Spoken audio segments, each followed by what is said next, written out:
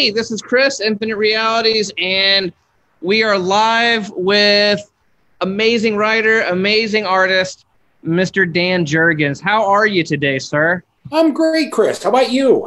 I'm doing well. I'm talking to one of my all-time favorites, so life is good for me. Everything's coming Great, up. thank you. So, what have you been up to lately? How how how have things been for you in the great weirdness?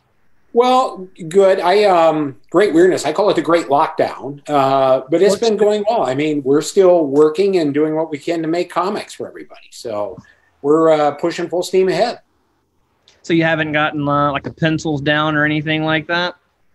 Oh no, not at all. Um, it's our opportunity, if anything, we can get caught up a little bit. But certainly, the books I'm working on, all my projects, we just keep pushing ahead and and doing what we can to get them done, and actually have just a little bit more time to. Um, treat them with a little more tender loving care and kind of fine point some of the things like the coloring that comes in doesn't mean it's last minute have to rush it out the door things like that so there are actually a couple of advantages here Oh, awesome. So so what are you working on right now? What's the most recent thing you've uh you've been working on today? right now i am writing nightwing and batman beyond uh, and trying to figure out how we can handle that as we enter this new future I gotta tell you, uh, our partner Brandon uh, loves all things Nightwing, has a Nightwing tattoo, and is in love with what you're doing with the character right now. So oh that's great to hear thank you yeah. So uh, how is writing Nightwing? Is is, is that fun? Because he's a beloved character. Um, has had some ups and downs. How are you? How are you doing with the character? You having fun with it? I am. Uh, you know, I came in uh, sort of in the middle of a storyline, obviously, in which uh, he had, was then calling himself Rick, had lost his memory uh, because he had been shot by the KG Beast and uh, resulted with amnesia. And um, I, I came in on the middle of that, and the whole idea is what can we do? What can we find to make this make a little more sense, make it more of a Nightwing centric sort of story, kind of a bat story as well, since it all started with something in Batman. And I think we've managed to do that. And um, I think we've managed to turn it in a direction that has worked out very, very well for the character by using the Court of Owls and a couple of other things um, to make it seem a little less haphazard, if you will, and have it have a little more character meaning. And that's what comics always need. So it's what any good story needs. And I think we've managed Sure. to do that. Dan, what was your journey into comics? My journey into comics. Uh, well, it, it really started as a kid when I was reading them, and I always thought it was a great vehicle just in terms of reading that I liked reading comics. And it all started for me with the uh, live action Batman TV series with Adam West and Burt Ward. I mean, I was like seven, eight years old when that came out. Uh, and that just captivated me. And then it was after that that I saw kids on the na- in the neighborhood trading comics on their front porch on one warm summer night. I didn't even know comics existed, and all of a sudden there it was, and they had you know Batman comics, and then it's like, oh, this guy on TV is in this, and then it, that, they had Superman and everything else, and from that moment on, it's safe to say that I was hooked. So what was um what was your first professional work? I'm just curious. My first professional work was uh, war, was for DC. It was Warlord number sixty three. Uh, I started with them, I think, late '81. Um, Mike Grell had been doing a promotional appearance here in town, and at that time, Mike was the creator, writer, and artist on Warlord. Uh, and they were also kind of in the process of looking for a different artist. And I stopped and I showed Mike some of my work. And you know, a couple months later, I was on the book, and they they said, "Well, we'll give you three issues and see how we like you." Mm-hmm. And after that, they never told me they didn't like me, and I kept hanging around, and here we are today. Now, one of uh most famous creations is Booster Gold. Uh, We have several customers who are absolutely in love with that character. Uh, Obviously, very intelligent c- uh, customers. Yeah. But what was the genesis of that character? Because at the time, it's such a unique take. A superhero for profit. Everything he did was to make money.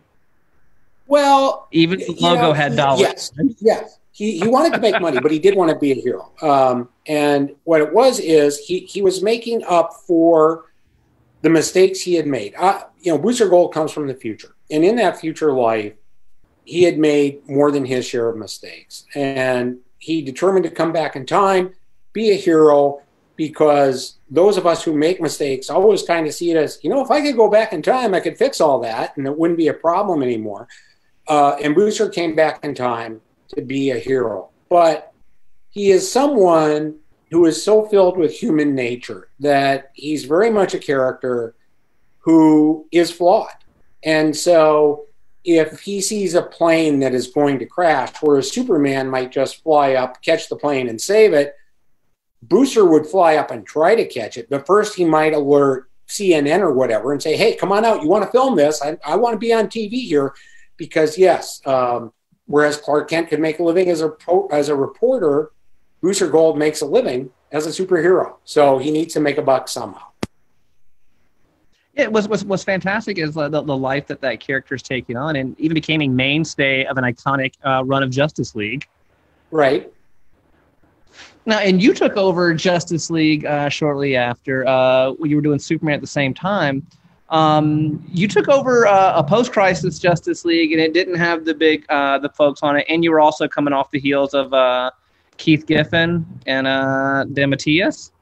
Right. So, right. what was I guess personally, like, what is your mandate taking over a book like that that had such a unique voice, and that did that that was uh, widely followed? So how how how do you how do you follow up on that? How do you prep for well, that? Part, part of it was uh, at that time I had actually been offered the Avengers and uh, was thinking about doing that, and then DC said, "Well, would you rather do Justice League?" And I said, "Well, as long as I'm here, I might as well." Uh, but the one thing I did say is, you know, uh, Keith and Mark had given it such the, their own personal flair with the idea of building humor into the series. And I said, look, I can't do that. That's not who I am as a writer. Uh, I think I can use characters like Booster Gold and Blue Beetle to still have that be part of the atmosphere. But at the same time, DC was at the point where they wanted to bring Superman and Wonder Woman and some, you know, Hal Jordan back into the books and have them be a part of it as well. So uh, what we did is a little bit of a blend of the various versions of a Justice League that had been in existence before. One was with the mainline heroes like Superman, which was very straightforward superhero stuff, but still retaining a little bit of the humorous aspect by using Guy Gardner and using Booster and Blue Beetle and things like that. So we, we kind of blended those two ideas. Um, and it was a lot of fun. I mean, I, I really enjoyed doing it. And whenever you're working with Earth's mightiest heroes, its greatest characters, you can't help but have fun. We have a comment uh, has popped up in the feed um, from Darius Washington. Your Superman work is wonderful, some of the best in the modern era. You actually get what makes the character work. Thank you. Um, I want to echo that. I'm a Superman guy, and I discovered the Superman through the movies, but I discovered Superman comics uh, through your run on the character. So, how did Superman come about? How did you take over the character? Also, were you a Superman f- fan leading up to that? Yes, I was a Superman fan. Uh, I, I wouldn't say that you know he was a front and center uh, character. I mean, you know, he was like you know number five on the list or whatever. But um, I always found the character incredibly compelling to draw.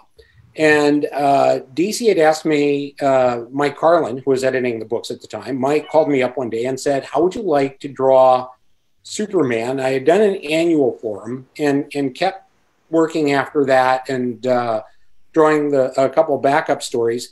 And he, he asked me if I wanted to draw the character on a regular basis as written by George Perez. And I said, well, yeah, sure. I'd love to work with George. And um, we did a couple of issues together. But by that point, you know, George was already going to move on and go do some different things and uh, they asked me if I would like to write it. And that's when I got a little bit intimidated because it's one thing to want to draw Superman and another thing entirely to say, yeah, I want to tackle him and find a way to find out if I can even think about writing it. Um, but I did. I think I have a very nice connection with the character. I think I have a pretty good handle on what makes Superman work um, and what makes Clark Kent work and Lois and all of them. And it's been a very nice uh, relationship with a character over a long amount of time, which I think has done us both quite a lot of good. How do you approach writing a character like Superman? Um, you hear a lot of writers; they seem a little bit intimidated by the character and his power set. How do you? Uh, what is your approach with with Superman when you sit down to script one of his adventures? You know, the power set isn't a problem for me. I, I think to really write Superman is to first, I think this is true of any character.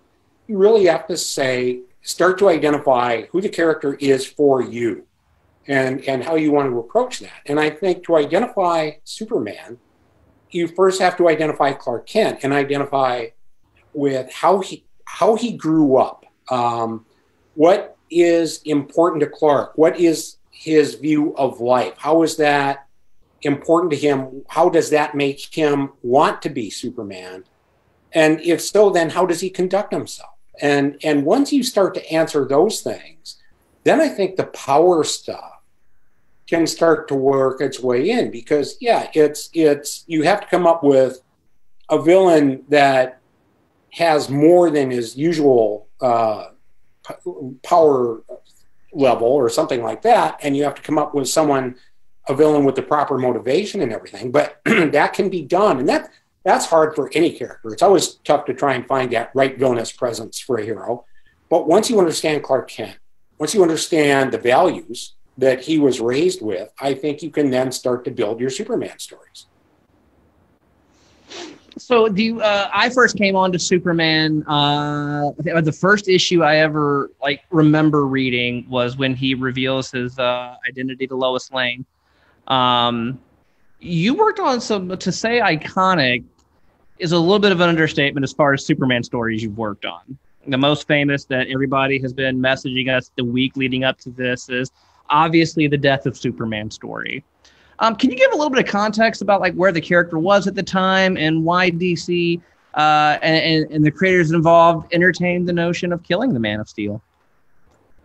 Well, one of the things that we had been doing is from time to time already, uh, as we were working on the books, is we would look at previous stories and just say, is there anything here that can be updated? Do we have something here? Is there a core of an idea?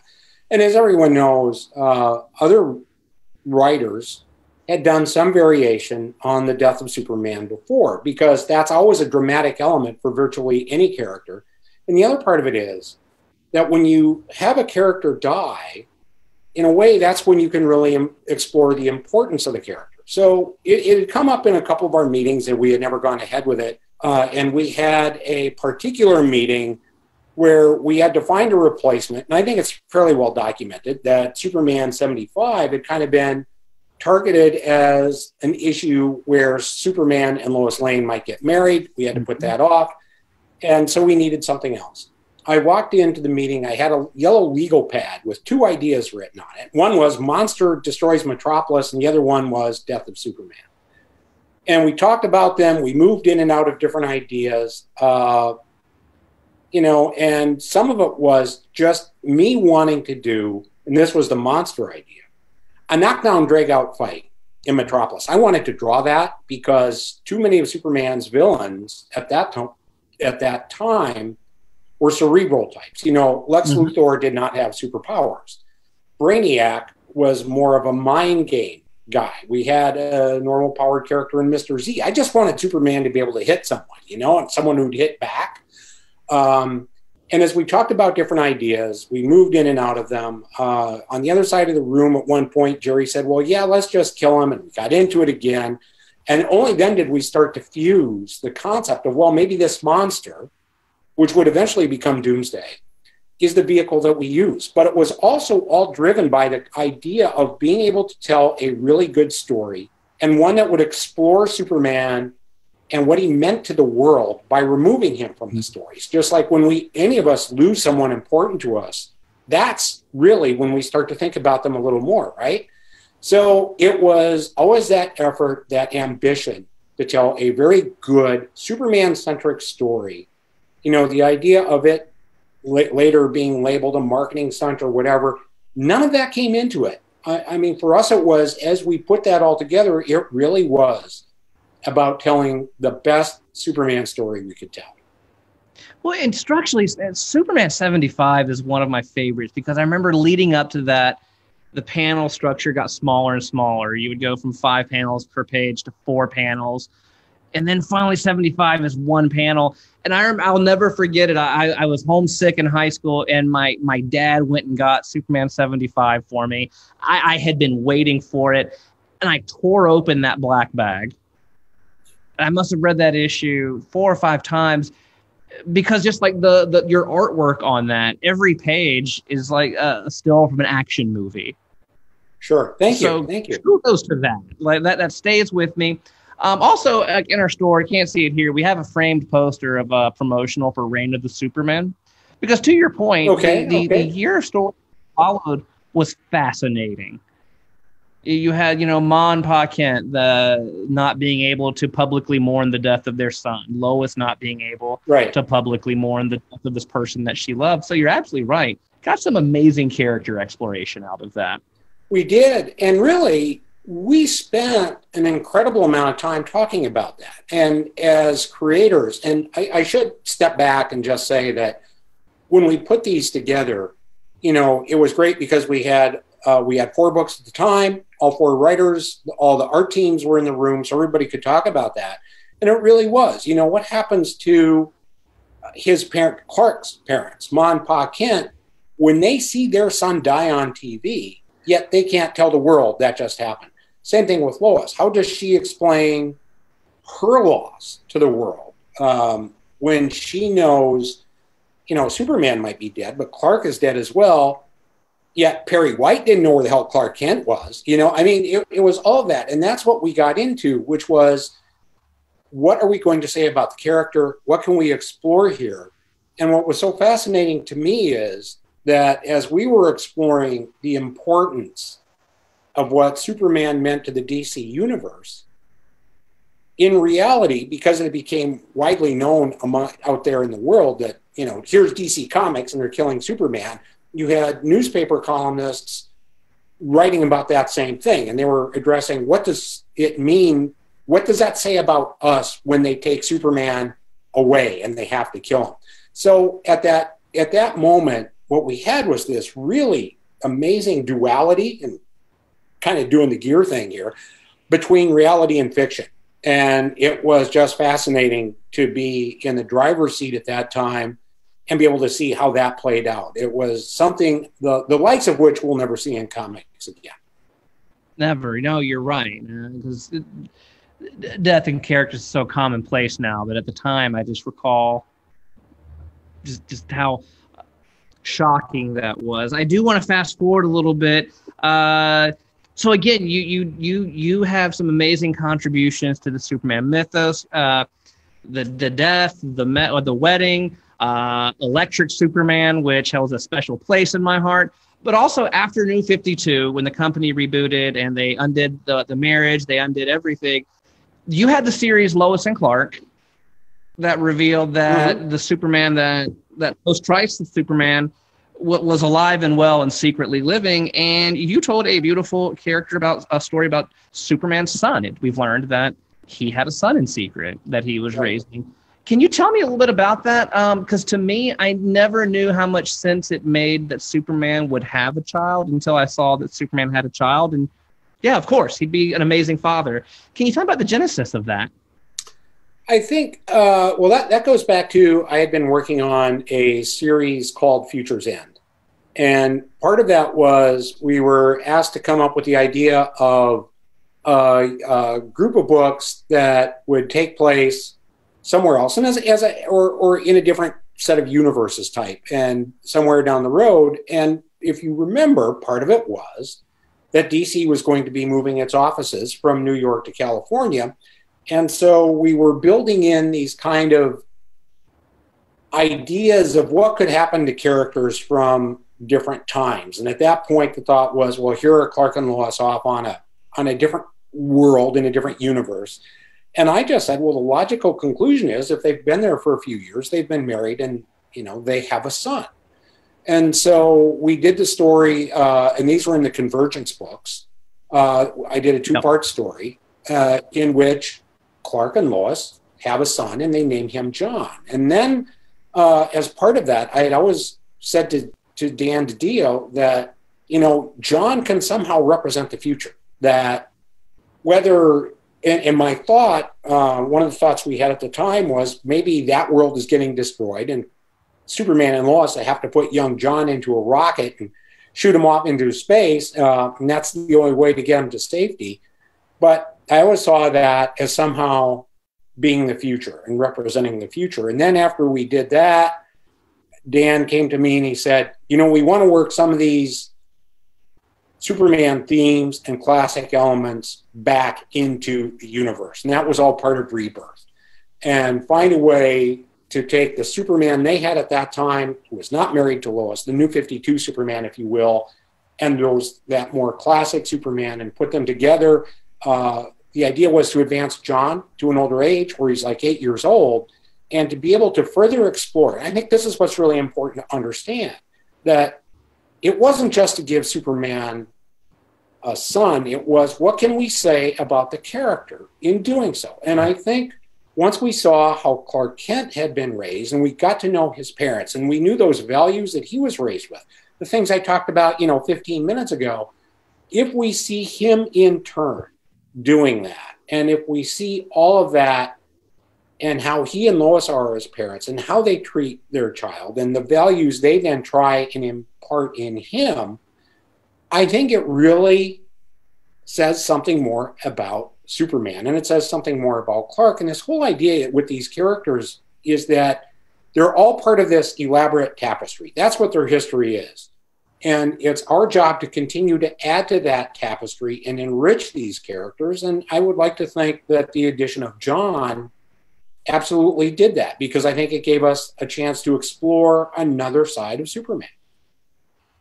Well, I would like to ask. Um, I'm a parent to uh, two sons. I'm a father to two sons, and whenever I read the relationship, and again, I came up on your Superman, so understand when I say this is when I look at the relationship between Pa Kent and Clark, and then the relationship between uh, Superman and John.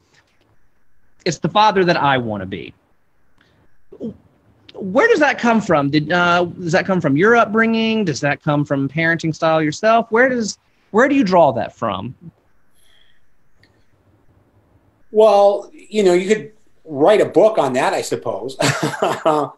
Sorry, I know it's a uh, heavy question, but that was one I wanted to hit you with. I, well, you know, I think whenever we write uh, as as writers, to a certain extent, you try not to write yourself. What you try and do is write the character and and get your head in that character's space and and say if if you do that and you have that understanding of them, I think you can draw some logical conclusions as how to that char- how that character might behave. Mm-hmm. Um, as I said, I think I have a pretty good handle on who on who Superman is, who Clark is, who Lois is, and how they might act with such a, a, set of circumstances. But at the same time, I'd be lying to say that we don't all draw on our own experiences somehow, right? Mm-hmm. And uh, it just so happens that I did grow up in uh, a rural area, a small town of only 2,000 people, which, yes, you could substitute for Smallville, Kansas, I suppose. So I think there's a certain level of understanding there, but it really is. It's the job of any writer is to be able to get inside a character's head or all their characters' heads and be able to make them different and and kind of communicate that somehow. So I think the answer to a lot of those questions that you asked is yes, but it's a much more complicated blend than that. Well, I'll hit you up about it some other time then. We're coming towards the end. I do want to ask uh, to wrap things up with, you have written the list of characters that you've written is a very long one. Uh, who has been your favorite to write so far? And is there a character you haven't written or drawn that you would like to tackle? Uh, I've been very fortunate in that I've been able to do just about everything I've ever wanted to do. And and I've been able to work on almost all characters one way or another. Uh, let's see. I I don't. I my favorite really does. This sounds like a cheap answer, but it is true. Um, my favorite tends to be whoever I'm writing at the moment. It, it, you have to make it that way as a writer. You really do. If you aren't, you're probably not doing justice to the character. I've always been fascinated by Tony Stark and Iron Man. That would be fun to do one day. Uh, there are other ones out there as well. I think um, there are even some darker characters that that I would really like to explore sometime that I just haven't gotten to yet, and and some of those darker themes. So I think there's still a lot out there to be done, and some new stuff, um, characters of my own left to do. So I think there's still a lot more that I want to do, and the idea is to eventually somehow get to doing them all. Well, before you wrap up, is there anything that you wanted to to promote? Uh, anything that you wanted people to know? How can they support right now in this uh, the great quarantine, as you called it? Uh, anything that people oh, should be aware lockdown. of? I, great look, lockdown. I think the, the, the, biggest thing, right. Uh, the the biggest thing I can say is um, now more than ever, whether it's us as creators or comic companies as publishers or retailers like you, what we really appreciate out there is the support. And I'm amazed that, you know, we've certainly seen the, the love for these characters, the love for this medium and this product continue to come through. And I certainly admire what everybody has done as readers to support their local comic shops. I've seen and read and been told so many great stories of what they have done to do that. And I think that's fantastic. So to that, I would say thank you and please keep doing so. Well, Dan, thank you for uh, for all of your body of work, your passion. You have a lot of fans out there, uh, the folks at the store among them. So thank you so much for that. And I'm going to go ahead and I'll go ahead and end the stream now. My pleasure. Thank you, Dan. Thank you.